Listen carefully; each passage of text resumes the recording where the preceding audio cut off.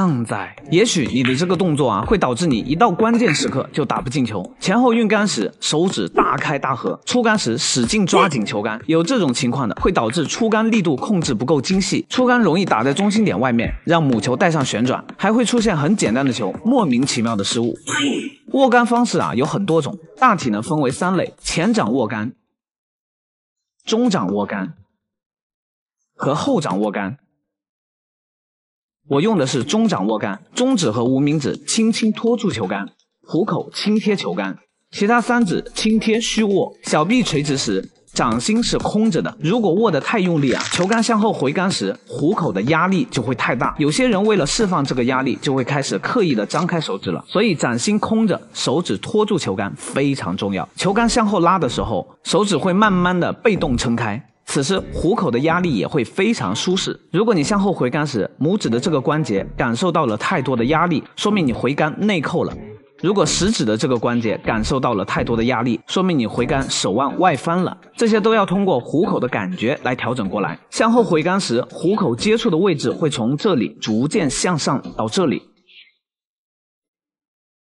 向前出杆时，手指会自然的合拢。记住“合”这个字，跟捏的感觉完全不同。球杆与虎口的接触位置也会从这里逐渐过渡到后掌。后掌的小鱼际也会从悬空自然的合到这个位置上，这样才能让出杆变得顺畅。用这种方式握杆啊，无论多大力都不需要在出杆的时候使劲抓紧球杆，你只需要一个很小的力量勾住球杆，球杆就完全不会跑走。一旦这种过渡啊变得顺畅，很多之前不稳的球都会变得稳定，很多之前打不出的杆法都会变得犀利起来。想要系统学习台球技术，记得一定要去看我主页置顶的第一条视频。下课。靓仔，射击瞄准直接对准目标，扣动扳机就可以了。而台球瞄准却不像射击那样子，你需要先拥有瞄准白球中心点的基本功，再通过球杆的方向瞄准目标球的进球点。如果你的击球点偏离了中心，它的线路就会偏移。大部分人打不准就是这个原因了。推荐训练方式：垂直瞄准对面库边，打出去弹回来，白球可以刚好碰到杆头。第二，直球瞄准训练，在第一视角中，视线要穿过白球和目标球的中轴线，接着球杆与视线重合。由于趴下后存在空间透视的情况，近大远小，你要想象白球已经动起来的样子，所经过的路径就会产生一道有宽度的线，这个形状啊有点像等腰梯形。如果你的视线和球杆偏离了中心轴，这个梯形就变形了。所以，只要感觉左边和右边相等，此时啊，球杆只要能出直，就能将球打进。第三，角度球瞄准，在白球与目标球撞击的瞬间，两颗球心的连线就是目标球的运动方向。白球无论在什么角度，最终都是打到这里，相当于就是对着目标球前面这颗球笔直打就可以了。从第一视角看，想象让白球动起来，接触到目标球时，会感受到它俩的球心连线有一个方向感。如果这个方向没有对准袋口，就适当的调整一下球杆的方向。如果感觉这个形状的方向啊朝向了袋口，锁定好白球向前的这条路径与目标球相切的厚度，只要把球杆出直，就能将球精准打进。熟练后，任何角度只要看一眼就能知道瞄哪里可以打进。哐哐响带。想要系统学习台球技术，记得一定要去看我主页置顶的第一条视频。下课。靓仔，当你精准绝杀一颗关键球时，那种感觉简直是爽到了脚趾头。不过大多数人遇到这种球啊，往往会心生恐惧，进球率非常低。这节课教大家四种方式来轻松应对关键球所需要的准度。第一种后程加速法，大多数人的后手啊，由于没有经过职业的训练，往往稳定性比较差，所以很容易在关键的时候啊发力变虚。而后程加速法就很好的解决这个点，在准备出杆时放松小臂，先对球杆方向。进行引导一小段，再开始加速送出去。在引导的这段过程当中啊，要始终用余光感知这根球杆，顺着眼睛看到的进球点方向进行引导。引导完成之后，就意味着你已经锁定了球杆的方向。此时无论你如何加速，都不太会偏离这个方向了，力量也会变得无比扎实。第二种试击法，运杆时啊，就带着准备好的力量去运杆，感觉白球就好像消失了一样，在脑海当中去感受球杆。延伸出出去的方向，不断的去感受后手肌肉动作的先后顺序。每一次朝前的运杆啊，就仿佛已经完成了一次出杆，这就叫做试击。从多次试击的感觉中，找到最好的那一次，杆头稍稍的在白球前面停顿一下，利用刚才试击对动作残留的记忆啊，非常本能的把球杆拉回送出。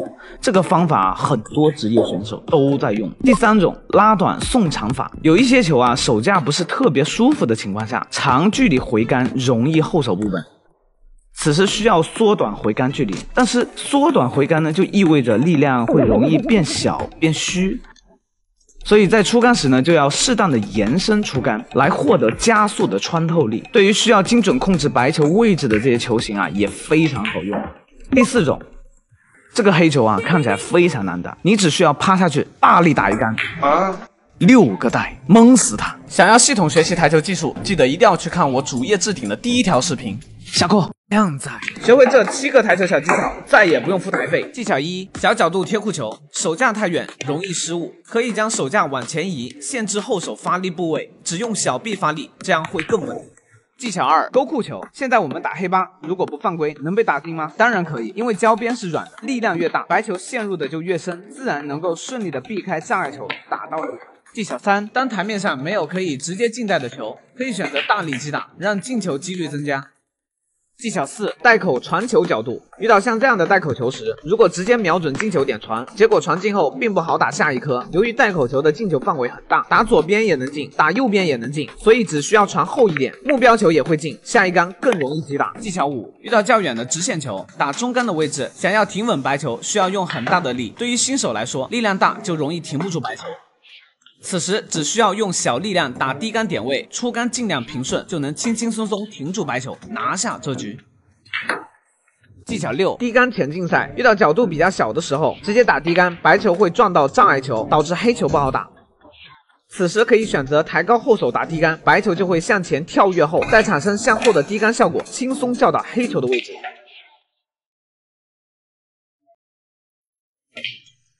技巧七：短距离贴库球，很多靓仔还是分不清贴库球怎么加塞，可以参考以下方法：袋口在你第一视角左边就加左塞，